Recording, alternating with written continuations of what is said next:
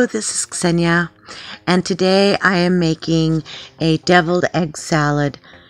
And the first thing that I'm doing is peeling eggs.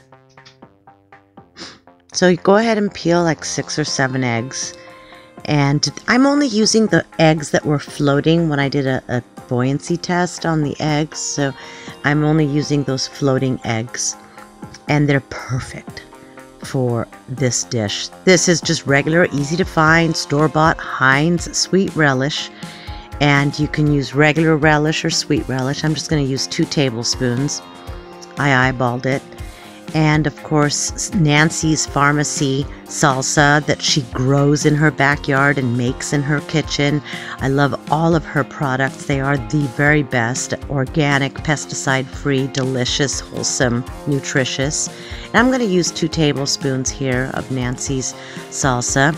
Adds a great flavor and you know, when we're done with this, it, no one ingredient overpowers the other. This is a wonderful store bought, easy to find Grey Poupon Dijon mustard. I prefer that over the other mustards. And I think I bought this on sale anyway. And I don't use like five or six different spoons. I just use the same one. I just wipe it clean on that towel that you see in the back.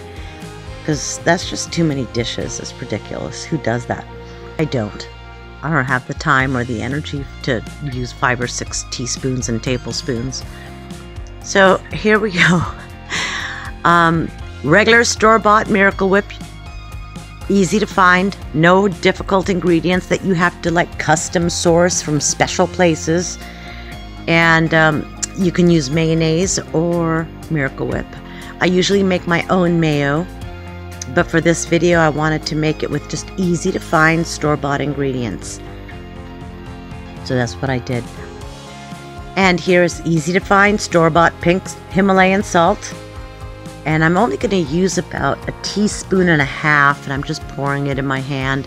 I eyeball it and this is great for minerals and it doesn't have that strong salty white salt flavor either and of course fresh ground pepper to taste. I forgot to bring over the paprika, but I bought some paprika from the store to make this video. And I think I got it at Winco, but I'll bring it over in a little bit. So I'm just using like a wide fork to smash everything. And I'm going to leave the whites kind of chunk and blend everything together nicely just simple. I mean, this you can make this in under five minutes. I mean, this video is like four and a half minutes. Super simple, super easy, and wholesome, delicious. And again, I want to emphasize that no one flavor overpowers another flavor with the amounts and the types of condiments that I'm using. So it just works out perfectly. And I'm using all ingredients that are easy peasy to source and you can substitute whatever you like so that you know for your special special dietary needs.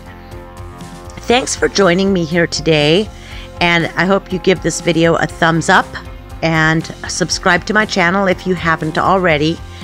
And here i do videos on what i do here at the farmhouse on the farm and you know i hopefully these videos help you so here's what I'm gonna go and get the oh the floor.